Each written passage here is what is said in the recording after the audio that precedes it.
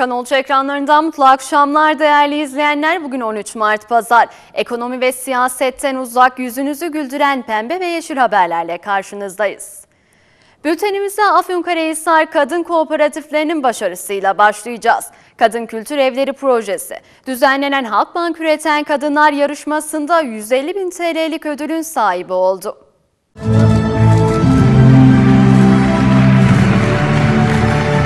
Değişim ve gelişimi mimarı kadınlar olacaktır düşüncesiyle 24 Temmuz 2020'de Vali Gökmen Çiçek'in eşi Sümeyra Çiçek öncülüğünde hayata geçirilen Kadın Kültür Evleri projesi başarıdan başarıya koşuyor. Tüm finansal süreçlerde kadın girişimcilere avantajlı hizmetler sunmak hedefiyle Kadın Girişimci Bölüm Müdürlüğü'nü kuran Halkbank, girişimci kadınları cesaretlendirmek, projelerini hayata geçirmelerine destek olmak amacıyla Halkbank Üreten Kadınlar Yarışması'nı düzenledi.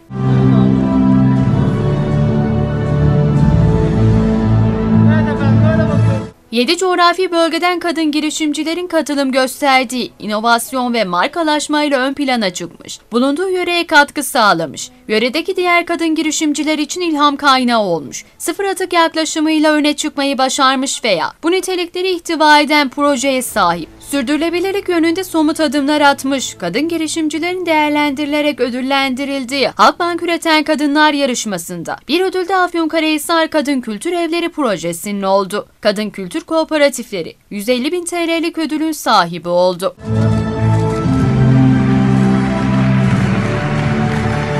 İstanbul'da gerçekleştirilen ödül törenine katılan Vali Gökmen Çiçek, ödül töreni sonrası duygularını sosyal medya hesabından paylaştı. Vali Çiçek, kadınlarımızdan yine hepimizi gururlandıran bir başarı hikayesi geldi. Kadın kültür kooperatiflerimiz Halkbank Üreten Kadınlar yarışmasında derece alarak para ödülü kazandı. Bu gurur hepimizin. Ben inanıyorum. Kadın Kültür Evleri projesi 2022'de çok daha büyük işler başaracak ifadelerini kullandı. Müzik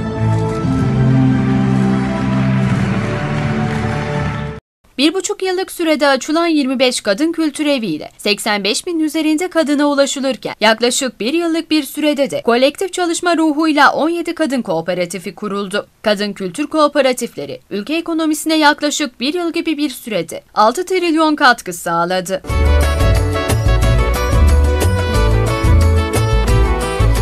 Proje kapsamında ayrıca kadın kooperatiflerinin e-ticaretteki pazar payını arttırmak üzere albikere.com online alışveriş sitesi kurularak 17 kadın kooperatifi bu sitede satış yapmaya başladı. Sosyal sorumluluk kapsamında kurulan albikere.com online alışveriş sitesiyle satışlardan elde edilen gelir Afyonkarahisar'da yaşayan öğrencilere burs katkısı sağlıyor.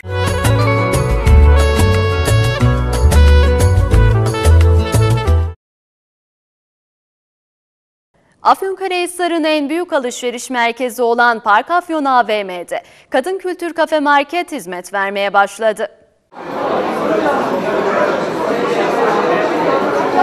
Vali Gökmen Çiçek'in talimatlarıyla hayata geçirilen Kadın Kültür Evi Kooperatifleri projesi tüm hızıyla devam ederken Kadınlar Proje kapsamında birçok yeniliği de hayata geçirdi. Afyonkarahisar Valiliği tarafından hayata geçirilen Kadın Kültür Evleri Kooperatifi projesi kapsamında kentin en büyük alışveriş merkezi olan Park Afyon AVM'de Kadın Kültür Kafe Market 8 Mart Dünya Kadınlar Günü'nde hizmet vermeye başladı. Açılış programına Vali Gökmen Çiçek, AK Parti Milletvekili Veysel Eroğlu, Belediye Başkanı Mehmet Zeybek, Afyon Ticaret ve Sanayi Odası Yönetim Kurulu Başkanı Hüsnü Serteser ve eşiyle Afyonkarahisar İl Protokolü, ilçelerden kaymakamlar, belediye başkanları ve İl Genel Meclis üyeleri katıldı. Kafe marketin açılışını protokol üyelerinin eşleri yaptı. Daha sonra konuşan Vali Gökmen Çiçek, kadın kültür evlerinin bir ekip işi olduğunu söyledi. Emeği geçenlere teşekkür etti. Afyonkarahisar'da bu saydığım arkadaşlarımızla beraber, kadınlarımızla beraber tüm Türkiye'de bir başarı hikayesi yazmaya devam ediyoruz. Her geçen gün biraz daha büyüyoruz. İşte 26 kadın kültür evine ulaştık. 17 kadın kooperatifimiz, satış mağazalarımız ve bugün Afyon Park AVM'de final yapıyoruz. Ben Afyon Park AVM yönetimine çok teşekkür ediyorum. Ve özellikle Afyon Karahisar'ın fedakar ve çalışkan kadınlarına çok teşekkür ediyorum. Çay Kadın Kooperatifimize, kaymakamına, eşine, belediye başkanına, eşine, çay ticaret odasına, çay il genel meclis üyelerine ve çaylı kadınlara çok teşekkür ediyorum. Açılışın ardından Vali Gökmen Çiçek, eşi Sümeyra Çiçek'le birlikte il protokolünü kafede ağırladı. Belediye Başkanı Mehmet Zeybek, eşi Sevim Zeybek'le birlikte açılışa katılanlara karanfil dağıttı. İl protokolü daha sonra AVM etkinlik alanındaki konsere katılarak müziklerle coştu.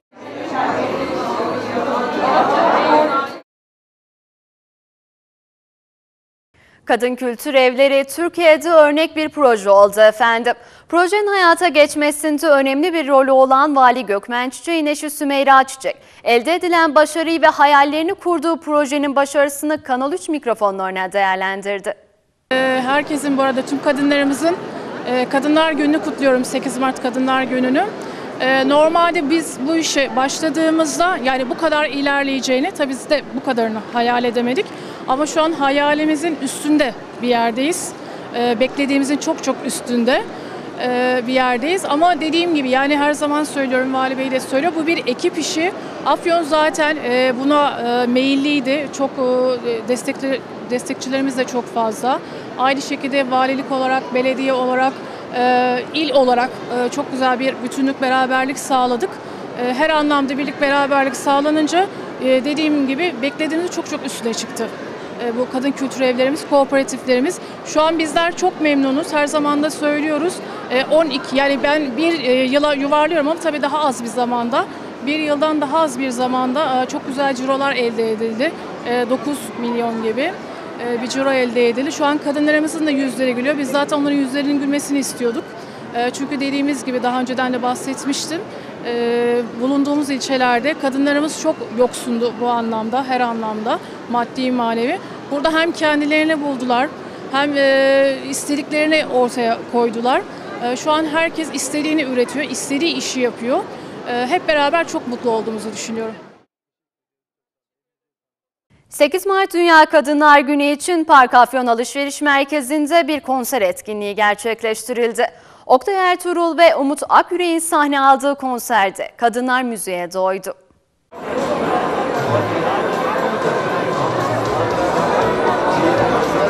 ...8 Mart Dünya Kadınlar Günü'nde Afyonkarahisar Kadın Kültür Kafe Market açılışı gerçekleşti. Açılışa Afyonkarahisar üst düzey protokolü tam kadro katıldı. Açılışta Dinar Çölovası kadınları renkli kıyafetleriyle renk kattı. Aşılanmış karabeli, aşılanmış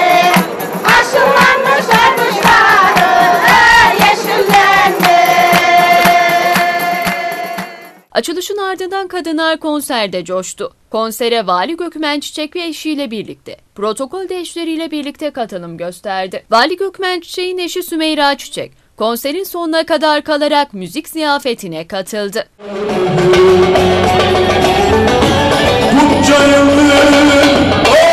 Konser organizasyonunda ilk olarak Oktay Ertuğrul sahne aldı. TRT sanatçısı Ertuğrul, Türk müziğinin sevilen parçalarını seslendirdi. Konserin ikinci bölümünde ise yine TRT sanatçısı Umut Akgürek sahneye çıkarak birbirinden güzel parçaları seslendirdi.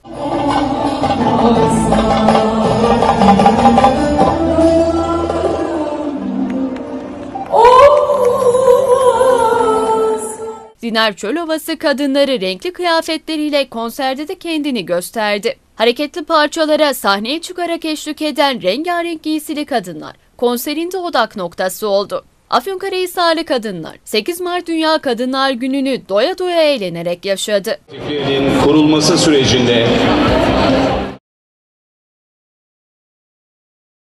Evet efendim, Işıklar Balı Sultan İlkokulu öğrencileri 8 Mart Dünya Kadınlar Günü nedeniyle Sabırlı Kadınlar isimli tiyatro çalışması ve O Ses Işıklar Ses yarışması etkinliği gerçekleştirdi. O renkli görüntüler geliyor ekranlarınıza. Söz vermiştim kalbime sen beni. Afyonkarahisar Işıklar Balı Sultan İlkokulu 8 Mart Dünya Kadınlar Günü nedeniyle Sabırlı Kadınlar isimli tiyatro çalışması ve O Ses Işıklar Ses yarışmasıyla sosyal ve kültürel faaliyetlerine devam ediyor. Otobüs hınca dolu. Memurlar, işçiler, ısrarla başkasının gazetesini okumaya çalışanlarla haşır neşir olduktan sonra otobüs yolculuğunuzu tamamladınız. 2D sınıfı öğretmeni Selma Aydın tarafından organize edilen öğrenci annelerinin rol aldığı, kadınların günlük hayata karşılaştıkları zorlukların ve bu zorluklar karşısında kadınların sabırlı duruşlarını ve metanetlerini koruduklarının anlatıldığı, kadınların sosyalleşmesini sağlayarak toplumda söz sahibi olmalarını amaçlayan Sabırlı Kadınlar isimli tiyatro oyunu oynandı. Adam koskoca polis memuru olmuş ama elinde tencere tavayla dolaşıyor.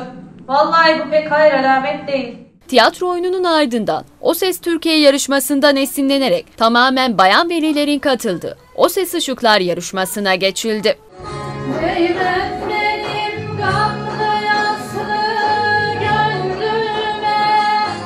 Senin için, senin için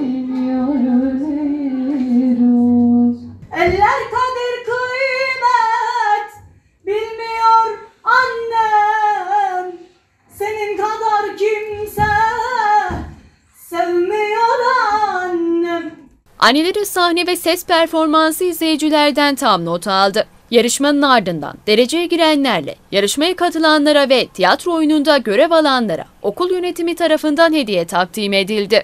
Sabırsız ve burnundan soluyan karın koşacak ve seni yakaladığı yerde gebertecek. Gel buraya kaçma.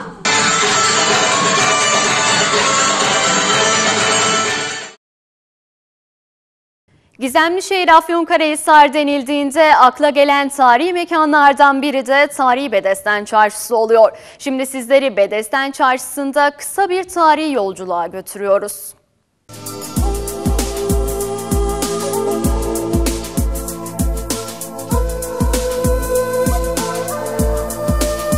Bedesten Çarşısı 1914 yılında Hacı Bekir Tiryaki tarafından yaptırılmış Afyon'un tarihi mekanlarından biridir.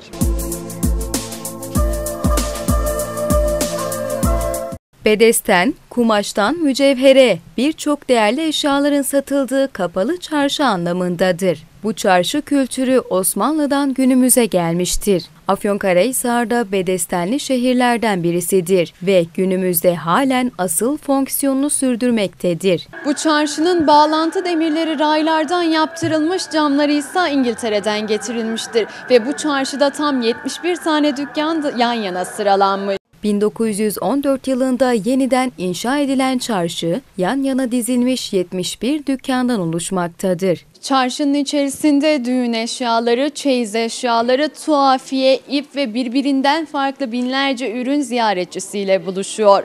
Ayrıca Bedesten'de Afyonkarahisar yöresine ait iğne oyaları, patikler, oyalar, dantel ve nakış eserleri bulunuyor. Öte yandan düğünlerde kullanılan yöresel kıyafetler, kına torbaları ve örtüler gibi çeyizlik birçok ürünün de görülmesi mümkün.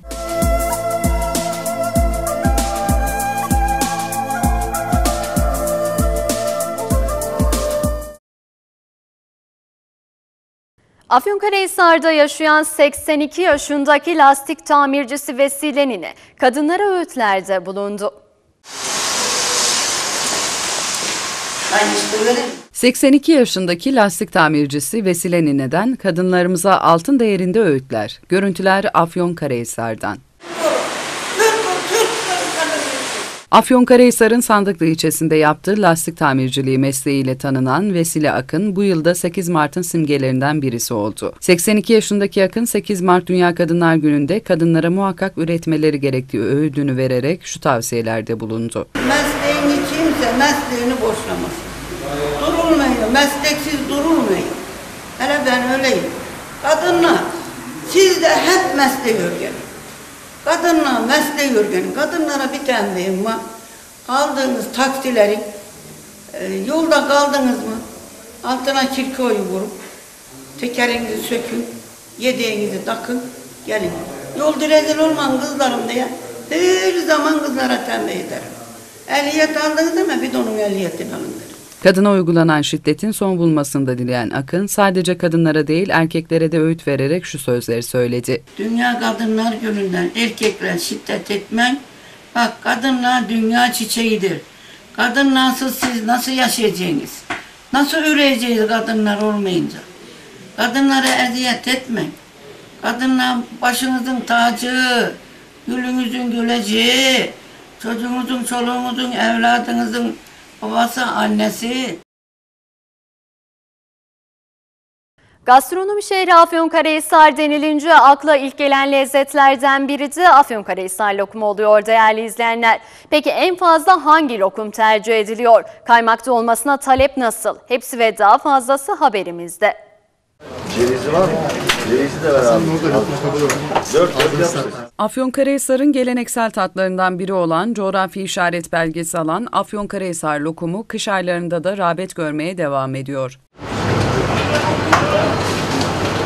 Afyonkarahisar'da köklü bir firmada çalışan personel Kanal 3 Haber'e özel açıklamalarda bulundu. Gastronomi şehri olmasıyla tabii ki ürünlerimizi e, tanıtmaya başladık. Bunların tabii e, yansımaları oluyor ama e, mevsimsel değişikliklerden dolayı şu anda çok fazla bir müşteri yok şu anda işin açıkçası. İşte tatillerde genelde işte Afyon'daki otellerin doluluk oranlarına göre işlerimiz değişiyor. Şimdi Afyon denince akla kaymaklı lokum geliyor. Tabii ki dolayısıyla biz de kaymak lokumu icat eden firma olduğumuz için genellikle kaymaklı ürünler tercih ediliyor.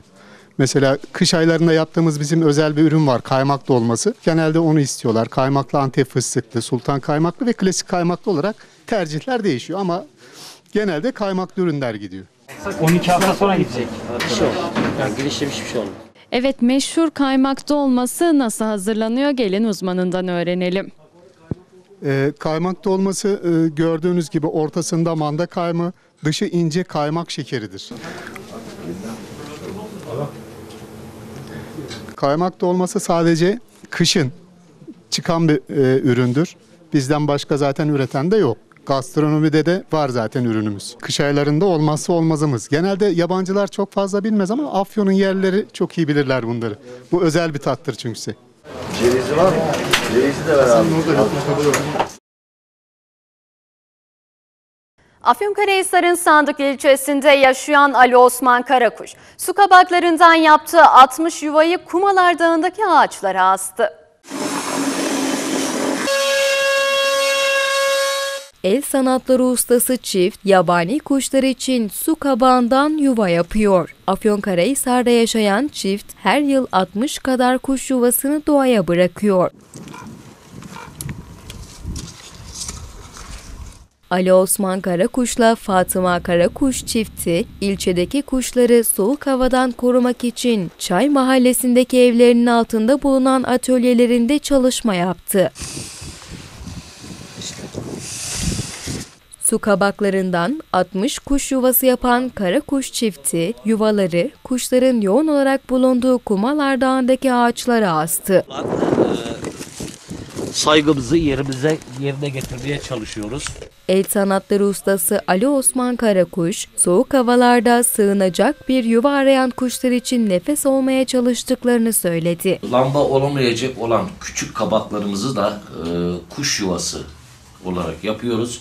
Yaklaşık yüzlerce e, bugüne kadar kuş yuvasını e, yapıp dağlardaki, ücra köşelerdeki özellikle e, ağaçlara asarak işlerini yemle doldurup kuşlara e, kuşları soğuktan korunmasını sağlıyoruz. Her senede astığımız e, kuş yuvalarına yem yem doldurmaya devam ediyoruz. Gördüklerimiz bizi gerçekten e, mutlu ediyor. Bazen e, kuş yumurtalarını içerisinde bulabiliyoruz. Bazen e, yumurtadan yeni çıkmış kuş yuvalarını görüyoruz. Bu da bizi mutlu ediyor. Çünkü e, kuşlar da bir canlı. Isparta'da yaşayan 41 yaşındaki 3 çocuk annesi, eşi ve mahallenin desteğiyle başladığı taksicilik mesleğini 6 yıldır sürdürüyor. Kadınların başarısı bitmek bilmiyor. Hem anne hem taksi şoförü. Görüntüler Isparta'dan. Zile basansınız değil mi abi? He. Tamam gel. Isparta merkezde bulunan taksi durağında 6 yıldır taksicilik yapan 3 çocuk annesi İsmahan Topak, araba kullanmayı çok sevdiği için başta eşinin ve mahallesinin desteğiyle bu işe başladı. İşler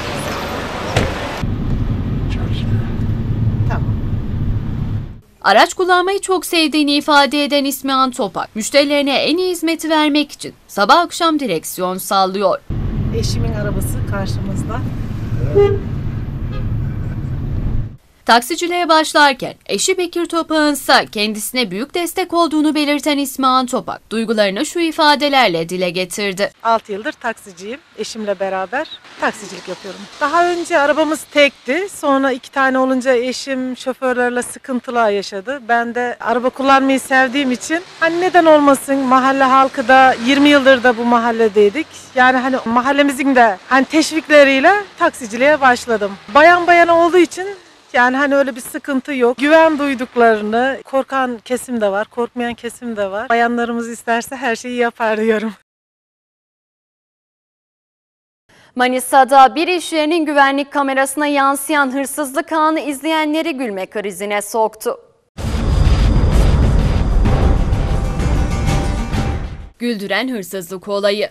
At arabasıyla geldi. Koca varili hoplayarak böyle ezmeye çalıştı. Görüntüler Manisa'dan. Dış cephe kaplaması için iskele kurulan bir binanın önünde bulunan inşaat malzemeleri at arabasıyla sokağa gelen biri kadın iki kişi tarafından çalındı. Kameralara yansıyan olayda Üç kişinin zorlukla yerinden kaldırdığı öğrenilen içi su dolu bir varil. Kadın hırsız tarafından kaldırılıp içindeki su boşaldıktan sonra üzerinde hoplayarak ezdiği anlar izleyenleri gülme krizine soktu. Yaklaşık 40-45 bin liralık malzemelerin çalındığını anlatan firma sahipleri, videoyu izlediklerinde kadının hareketleri karşısında gülme krizine girdiklerini anlattı. Şu durumu nasıl anlatsam bilemiyorum ama sabah e, personel arkadaşlarımız geldi. E, çalışmaya başladılar. Saat 10-10.30 arası bana telefon açtılar. Abi bizim malzememiz çalınmış. Biz de geldik kamera kayıtlarına baktık. Şimdi ben bu kadında şikayetçi miyim? Yani haline mi güleyim, kendime mi güleyim bilmiyorum.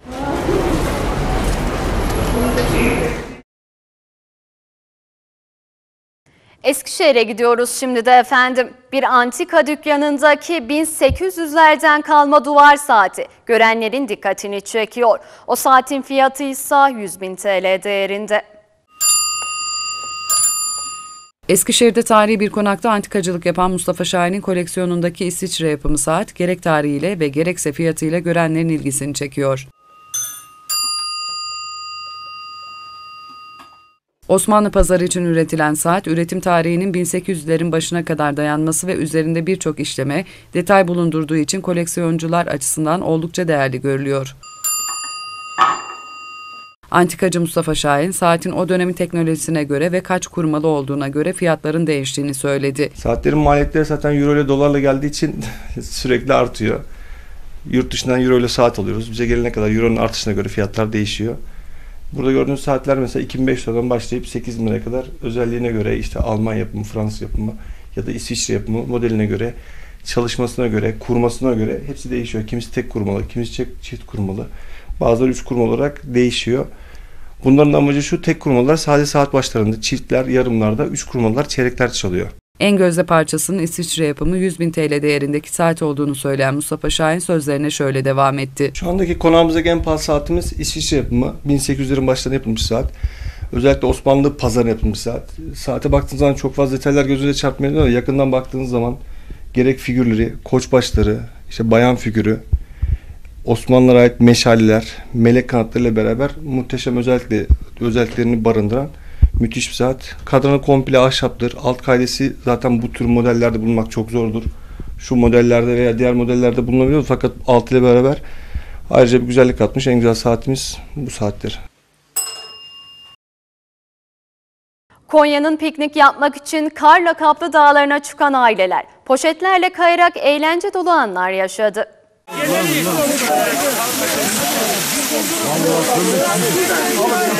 Konya'nın kış mevsiminde en çok kar yağışı alan ilçelerinden olan Derebucağın dağlık kesimleri ilkbahar döneminin gelmesine rağmen hala karla kaplı bulunuyor.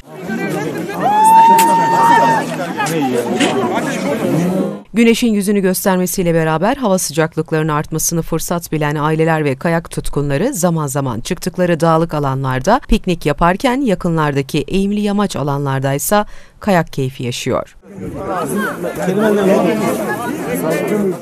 Yaklaşık bir metre kar kalınlığına sahip alanda çocukların yanı sıra yetişkinler de kayak yapmanın tadını doyasıya çıkarıyor. Yanlarında getirdikleri poşet, naylon, yatak, çuval ve şambrellerle kar örtüsü üzerinde kayarak adrenalin dolu anlar yaşayan aileler zaman zaman kayak esnasında kar üzerine savrularak küçük kazalarda yaşayabiliyor.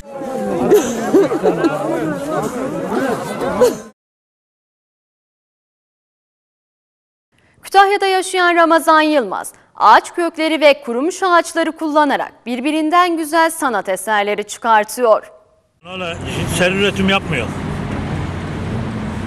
Bayağı ısmarış üzerine yapıyor. Ramazan Usta 40 yıldan bu yana ağaç kökleri ve atılmış, kurumuş ağaçlardan oymacılık sanatı ile ahşap bardak, kaşık, pişirgeç veya oklava yapıyor. Görüntüler Kütahya'nın Tavşanlı ilçesinden. Doğada atık halde bulunan ağaç köklerini toplayan 62 yaşındaki Ramazan Yılmaz, 40 yıldır hobi olarak başladığı bu işi severek yaptığını söyledi. 40 yıldır ben bu işi yapıyorum. Oymacılık, kaşık, kepçe, pişirge, okla, tavara, değişik tas, boğa tası onları yapıyorum yani. Bu işi böyle hobi olarak başladık. Böyle devam ediyor şimdilik. Yılmaz, malzemeleri doğadan bulduğunu belirterek sözlerine şöyle devam etti. Ben doğaya gidiyorum mesela genelde böyle düşüklerden toplarım. Ne bileyim parasını alırım. Bir düzgün malzeme denk getirsem. O öyle kullanıyorum yani ben öyle hazır malzeme almam yani. Düzgün malzeme denk getirdim öyle alırım. Ağaç kökleri, kurumuş, çürümüş ağaç köklerinden buluyorum. Saçaklarından buluyorum mesela çürük, yani düşük ağaçlar ekseri. Onları böyle buluyorum. Yani kesinlikle zaten yaş kesmem. Böyle düşük ağaçlarını topluyorum. İşime yaranlardan. Değerlendiriyorum. Onu yani hem doğayı temizlemiş oluyorum.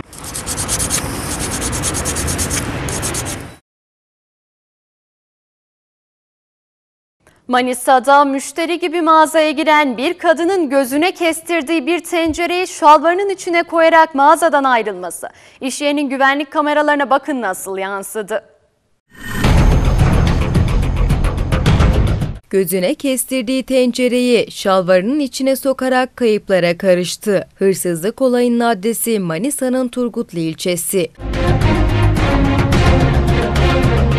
Turan mahallesindeki bir iş yerinin güvenlik kamerasına yansıyan olayda mağazaya müşteri gibi giren kadının tencere ve tavaları incelediği görülüyor. Kadın beğendiği tencerenin önce etiketini çıkarıp başka bir tencereye yapıştırırken etrafta kimsenin olup olmadığını kontrol ettikten sonra el çabukluğuyla tencereyi şalvarın içine koyarak mağazadan ayrılıyor.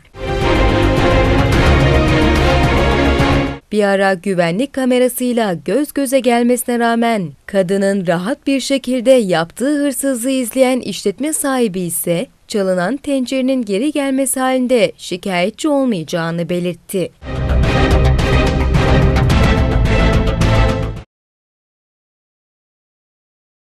Eskişehir'de pandemi sürecinde kısıtlamaları fırsata çevirerek filografi sanatı öğrenen 18 yaşındaki genç 2,5 kilometre uzunluğunda bakır telle Osmanlı Devlet arması yaptı.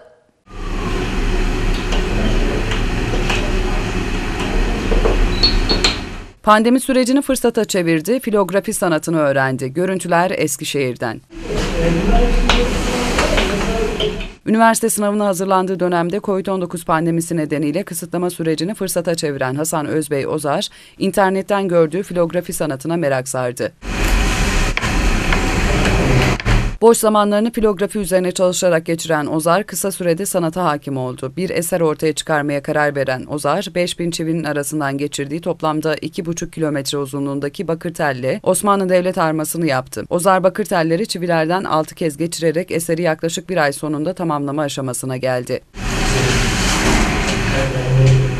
Filografinin sabır ve dikkat isteyen bir sanat olduğuna dikkat çeken sanatçı Ozar sözlerine şöyle devam etti. Pandemide e, kapanmadan dolayı filografi uğraşına kendimi verdim. İnternet sitelerinde çeşitli araştırmalarımla e, bu işe başladım. Güzel bir uğraş. E, Herkese tavsiye edebilirim. Kötü alışkanlıklardan uzak tutar. İnce işçilik istiyor. Ee, sabır isteyen bir iş. 5000 çivi kullandığım bu filografide e, her telden 6 kere geçtim. Ee, tekrar başa dönmeniz gerekebiliyor bazen karıştırdığınız zaman. Yaklaşık kullandığım tellerin uzunluğu 2,5 kilometreyi buluyor.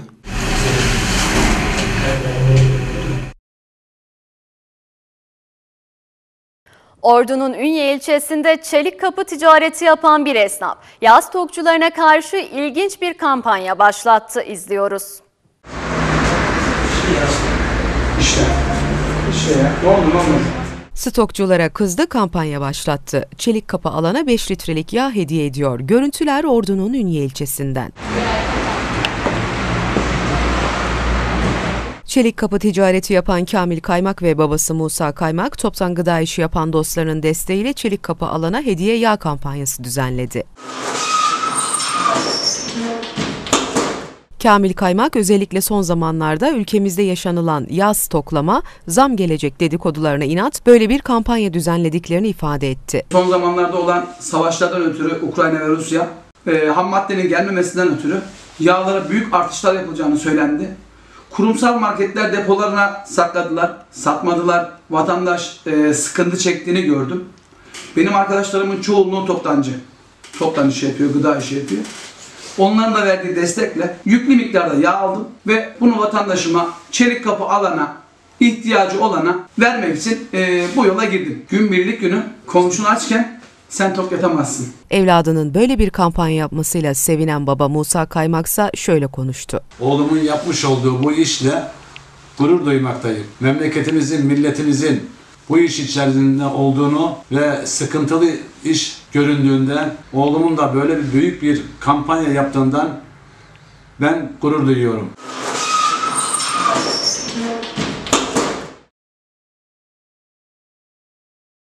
Bilecik'te rölyef kursuna katılan kadınlar kağıtları sanata dönüştürürken ortaya çıkan üç boyutlu tablolar adeta göz kamaştırıyor.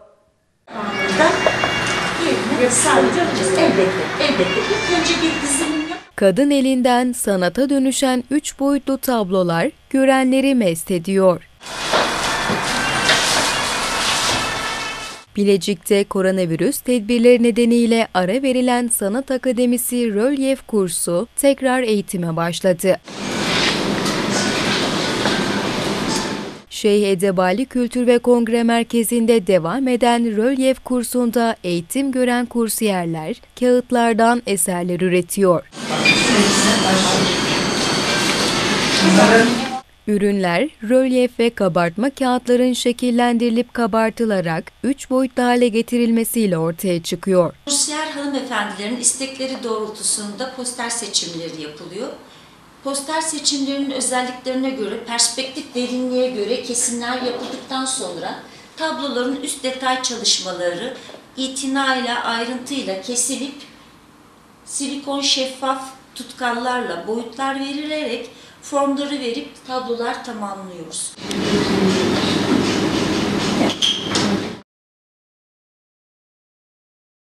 Doğadan binbir zahmetle toplanan kuşburnu, salgın döneminde en çok talep gören ürünler arasında yer aldı. Kuşburnu gel abi, abi sen de gel. Gel bakayım hemşerim. Gel kuşburnu satayım gel. Derdiler baş şifa kuşburnu. Dağlardan gelen şifa kaynağı kuşburnu salgın döneminde en çok talep gören ürünler arasında yer aldı. Güzel tamam, güzelmiş. Evet çok güzel. Mükemmel bir Ülkemizin birçok dağ kesiminde yetişen ve zengin C vitamini sayesinde bağışıklık sistemini güçlendiren kuşburnu bitkisine talep arttı. Burnu mükemmel bir şekilde C vitamini var. Çok acayip bir C vitamini var. Bunun hem çay içilir hem de reçeli yapılır. Son yıllarda tüm dünyayı saran salgına karşı korunmak için en büyük şifa olarak gösterilen kuşburnu pazar tezgahlarında da yerini aldı. Bunu yenge mi sevecek abi de? Alırsın. Evet. Beğendim. Daha çok vatandaşlar tarafından kış aylarında bağışıklık sisteminin güçlenmesi için bitkisel çaylar başta olmak üzere marmelat ve reçel yapımında kullanılan kuşburnu sent pazarlarında kilosu 50 TL'ye satılıyor. Allah Cenab-ı Allah neler veriyor insan insanı gördün mü ülkemizde bir bakın. Kuşburnunun faydaları da saymakla bitmiyor. Bu kuşburnunun insan bedeni tam 9-10 çeşit faydası var arkadaşlar. Bir, kusma ve mide bulantısına iyi geliyor. Kalp kaslarını güçlendiriyor. Sonra yani kalp ve göz damarını açıyor. Yani bağışıklık sistemini güçlendiriyor. Ee, idrar söktürücü özelliği var. Mükemmel bir şekilde anlatmayla bitmez bunun sevgisi ve yemesi. Vatandaşlar da kuşburnuna ilgi gösteriyor. Kuşburnu her türlü derde ve insana faydalı özelliklerinden dolayı aldık. Bunun için evde kaynataraktan içeceğiz. Vücudumuza yararlı olduğu için. Çünkü her türlü hastalık doktora gitmeyle olmuyor. Böyle şeylerle organik dağda yetişen meyvelerle içilerekten de eski gelenekleri sürdürmemiz gereklidir. Güzel Tamam, bir güzel. temelmiş. Evet çok güzel. Mükemmel bir Konya'da hayvancılıkla uğraşan bir çift doğum sırasında bacağı kırılan kuzuya evlerinde bebek gibi bakıyor.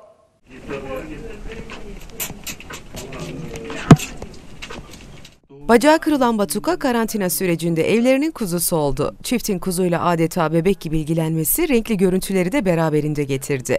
8-9 gün oldu yavrumuz doğalı. Konya'da yaşayan Gülşen ile Mustafa Kahveci çiftine ait koyun ikiz yavru dünyaya getirdi. Kuzulardan biri doğum sonrası hayatta kalamazken diğerinin ise annesinin basması sonucu bacağı kırıldı. Çift veterinere götürülen kuzuya tedavisinin ardından evlerinde bakmaya başladı. Adeta bir bebek gibi ilgilenilen ve Batuk adı verilen kuzu, Covid-19'a yakalanan ailenin karantina sürecinde evlerinin neşesi oldu. Ayağını mümkün mertebe pansumanlarını yapıyoruz, kontrollerini yapıyoruz. Uzumuzun adı Batuka. Batuka Tekin. Veterinerin de yönlendirmesiyle kuzuya çok iyi baktıklarını vurgulayan Mustafa Kahveci şu sözleri söyledi. Eşimle birlikte evi yukarıya çıkardık. Öbür kardeşlerinden ayırdık. Ee, bir tane de kardeşi ölü doğdu. İkizlermişmiş. Ölü doğdular. Bu onun adını Batuka Tekin koyduk. Kızlarım, eşim, oğlum hepsi e, kendi kardeşleri gibi evde evin içerisinde, odanın içerisinde bizimle beraber yaşıyor. Kuzunun adeta üzerine titreyen Gülşen Kahveci ise şu açıklamayı yaptı. Kendi çocuğum gibi ilgilendim. Elimle besledim. Mamasını verdim. Sütünü annesini yeri gelip sağdım geldim. Verdim biberonla ısıttım. Aynı yani bir evimizin içinde bir bebek gibi ilgilendik yani bununla. Ayrılması zor oluyor. Çünkü arkamız ben kalktığım an dışarıya çıkmak istediğim zaman hemen arkamdan koşuyor. Benimle birlikte her yere gitmek istiyor. Geldiğim zaman kucağıma böyle gelip oturuyor. Bekçi Akbaşlar zorlu kış şartlarına kolaylıkla adapte olarak bölgesini korumayı başarıyor.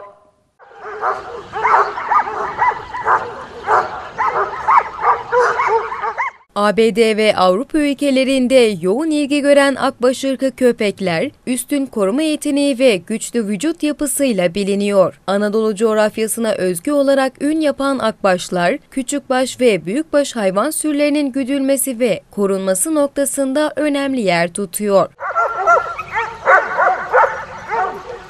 Olumsuz hava koşullarına rahatlıkla adapte olabilen akbaşlar, kar ve dondurucu soğuklara rağmen koruma görevini yerine getiriyor.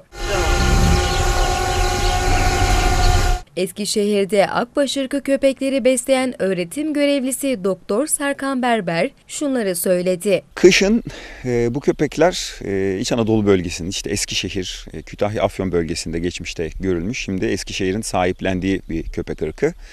E, Eskişehir'de biliyorsunuz e, son derece soğuk illerimizden bir tanesi şu an görüntüde olduğu gibi bol kar yağışı ve işte eksi 10'lar 20'lerin 30'lara kadar e, havanın soğuduğu bir şehrimiz.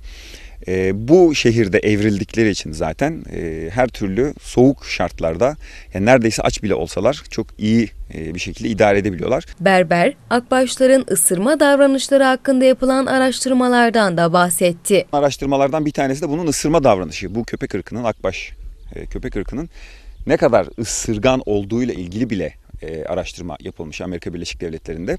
Ve e, bahçesini çok iyi koruduğu, saldırdığı, havlayarak e, yabancıya e, yaklaştığı fakat gidip ısırmadığı, kendini de riske etmediği, karşıdakini de bir şekilde hani e, her evimizin e, bahçesine giren, bazen bu işte tanıdığımız oluyor, bazen e, bizim bölgemize giren e, kötü niyetli olmayan birileri olabiliyor.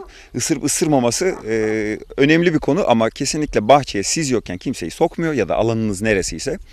Ama siz varken de e, şu an burada gördüğümüz üzere bizim iyi iletişim kurduğumuz, pozitif bir iletişim kurduğumuz insanlara karşı yaklaşımının çok iyi olduğunu fark etmişler ve bunu araştırmalarla kanıtlamışlar.